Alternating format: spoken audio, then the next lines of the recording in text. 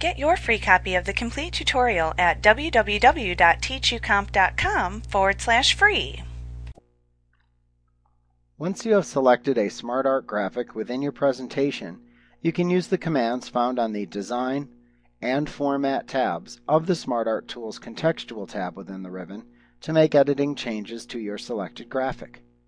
Let's review the functions found in these two tabs and how they can assist you in manipulating and formatting your SmartArt. On the Design tab of the SmartArt Tools contextual tab, you will find the Create Graphic group at the left end. You can use these command buttons to add more shapes to your selected SmartArt.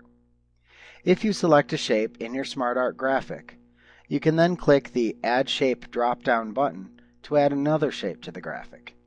Your choices of shape position relative to the selected shape will be shown in the button's drop-down menu. Simply select where you want to add another shape from the choices available.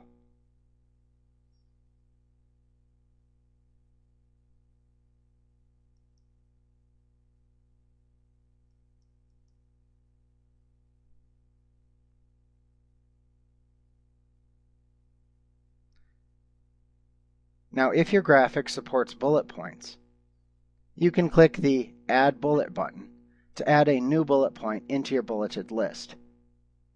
If you want to change the placement of a selected shape, you can click the right to left button to toggle the placement of the shape between the right and left sides of the graphic. This will invert the order of shapes placed into the same hierarchical level in some types of graphics. Also if available, you can click the Layout drop-down button to select a new layout for hierarchical charts. Also, if using a graphic that contains bullet points, you can use the Promote and Demote buttons to increase or decrease the visual importance of a selected bullet point. Clicking the Text Pane button will toggle the display of the text pane that is associated with the graphic on or off.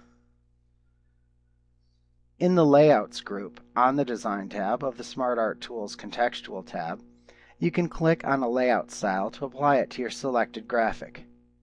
Note that you can hold your mouse button over the choices available to preview how they would appear in the slide.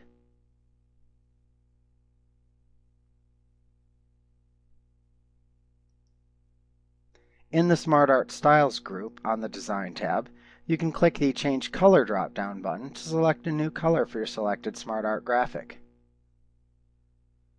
You can then click on any style shown in the adjacent listing of SmartArt styles to apply the style to your selected SmartArt.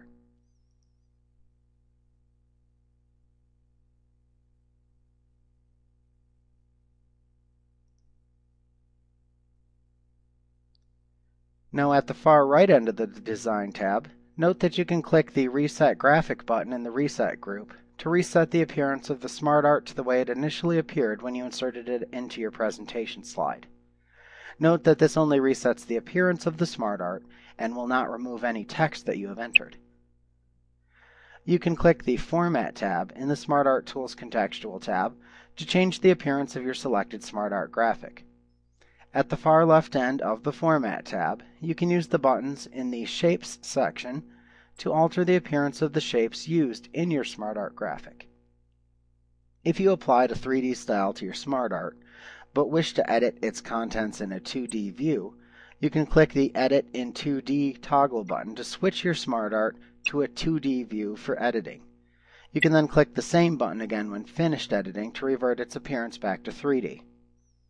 If you have a shape within the SmartArt selected, you can click the Change Shape drop-down to select a different shape to use.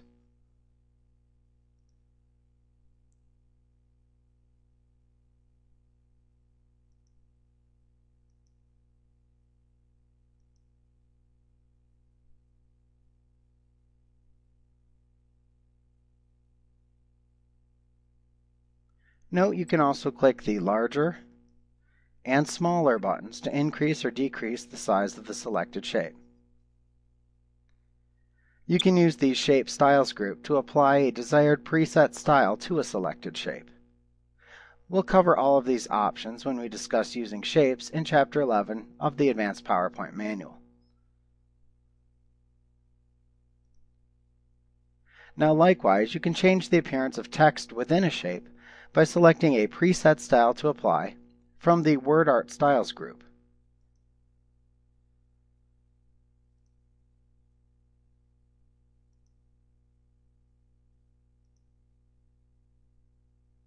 The Arrange and Size groups contain the same options that you have for arranging and resizing clip art, so these buttons should seem familiar. You can use them to format the selected shapes in SmartArt, just as you would for clip art. Like what you see? Pick up your free copy of the complete tutorial at www.teachucomp.com forward slash free.